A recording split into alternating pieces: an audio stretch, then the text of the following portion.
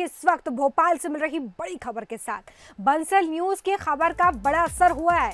Kyrgyzstan में फंसे मध्य प्रदेश के छात्रों को वापस भोपाल लाया जाएगा। छात्रों ने बंसल न्यूज़ के ज़रिए सरकार से गुहार लगाई थी कि उन्हें वापस लाया जाए। और इसी कड़ी में बड़ा असर बंसल न्यूज़ की खबर का हुआ है। हमने इस खबर को प्रमुखता से दिखाया था, जिसके बाद स्टूडेंट्स को लाने के लिए फ़्लाइट तय हुई है। 21 जून को मध्य प्रदेश आएँगे सभी स्टूडेंट्स। 200 इनकी संख्या सबसे पहले बंसल न्यूज़ ने खबर दिखाई थी। किर्गिस्तान की राजधानी बिश्केक में एमबीबीएस की पढ़ाई ये सभी छात्र कर रहे हैं।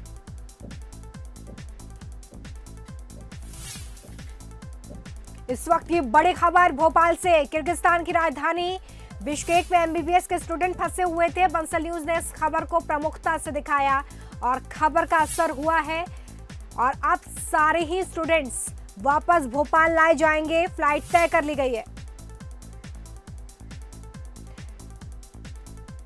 चलिए, सीधे हम रुक कर रहे हैं इस खबर पर ताज़ा अपडेट्स के साथ। विजयमान के विशेष संवाददाता हमारे साथ लाइव जुड़ चुके हैं न्यूज़ रूम से।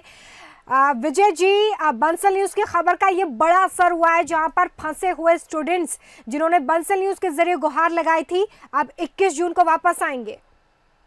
बिल्कुल रोमिता और बंसल न्यूज़ ने इस खबर को प्रमुखता से दिखाया था और इन छात्रों के आवाज़ को सरकार तक पहुँचाया था।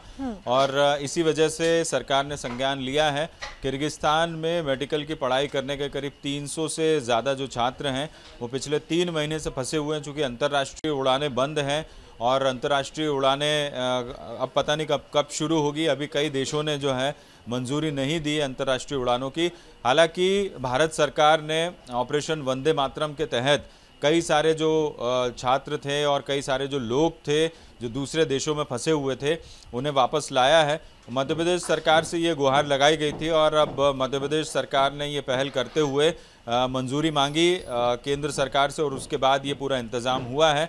तो एक अच्छी खबर है, राहत भरी खबर है और ये तमाम सारे जो छात्र हैं, वो मध्य प्रदेश के रहने वाले हैं। रोमिता।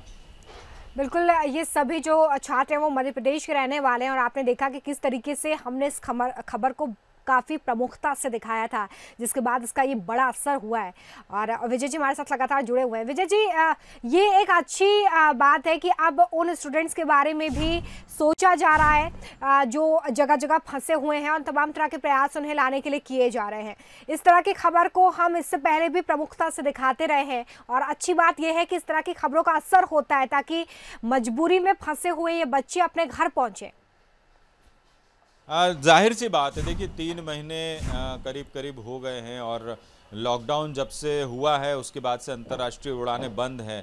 सभी देशों ने, दुनिया के सभी देशों ने अंतर्राष्ट्रीय उड़ानों पर प्रतिबंध लगा दिया है। तो जो जहाँ पर फंसा हुआ था, वो वहीं पर फंसा हुआ रह गया और उम्मीद थी कि जब पहला लॉकडाउन खुलेगा तो कुछ राहत मिलेगी। लेकिन अब चूँकि कोरोना का संक्रमण पूरी दुनिया में अभी भी कम नहीं हुआ है तो ऐसे में अंतर्राष्ट्रीय उड़ानों पर अभी विचार फ़िलहाल कोई देश नहीं कर रहा है।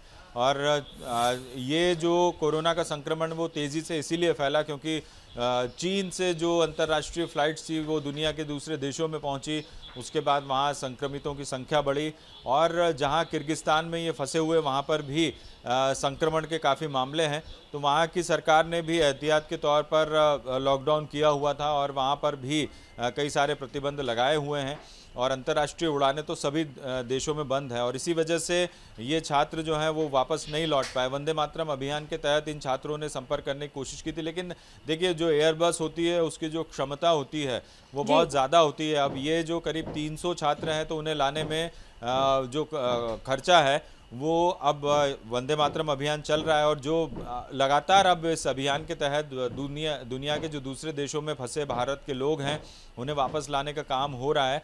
और शर्त यह है कि जब वो यहाँ वापस लौटेंगे तो खुद के खर्चे पर या तो वो घर में क्वारंटाइन हो या फिर उन्हें होटल्स में क्वारंटाइन किया जाएगा और उसका खर्चा जो है इन यात्रियों को वहन करना होगा।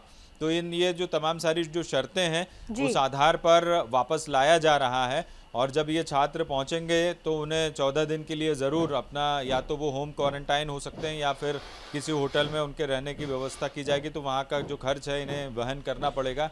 ऐसी ये भारत सरकार की शर्त है। तो सभी लोग सभी जो यात्री बाहर से आ रहे हैं उनके लिए ये शर्तें लागू की गई है।